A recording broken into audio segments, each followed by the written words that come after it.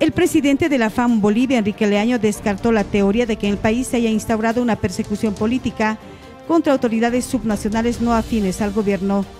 Los delitos son personales, no de instituciones, dijo la autoridad. Pidió procesos imparciales para el alcalde y el gobernador de Potosí. Ambas autoridades guardan detención preventiva por presuntos hechos de corrupción.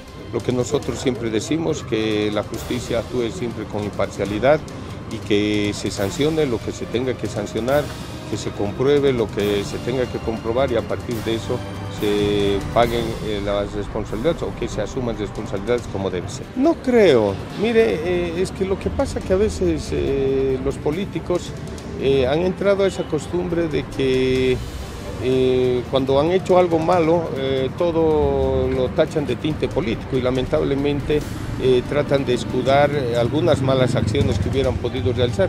Como decimos, nosotros no acusamos eh, ni decimos que ya son responsables, sino que pedimos que las instancias correspondientes sean las que eh, puedan realizar con transparencia su trabajo y si hay eh, los delitos o las pruebas que sean sancionados como corresponde, porque así debe ser y no escudarnos en el tema que pudiera ser algo político.